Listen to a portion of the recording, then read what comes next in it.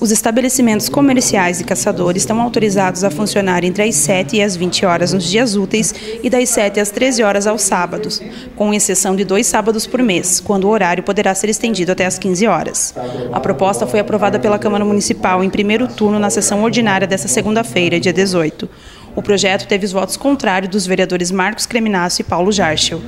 A emenda prevê também a concessão de licença para o funcionamento de estabelecimentos fora do horário normal de abertura e fechamento, desde que a justificativa seja aceita pela Prefeitura e mediante o pagamento de taxa de licença, somado ao acordo entre o empregador e empregados. Também foram regulamentados os horários das padarias, farmácias, mercados e demais estabelecimentos comerciais.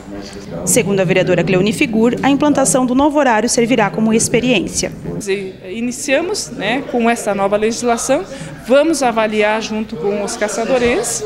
Se tiver necessidade de alguma alteração, por ser uma lei de interesse local, existe a possibilidade de alteração.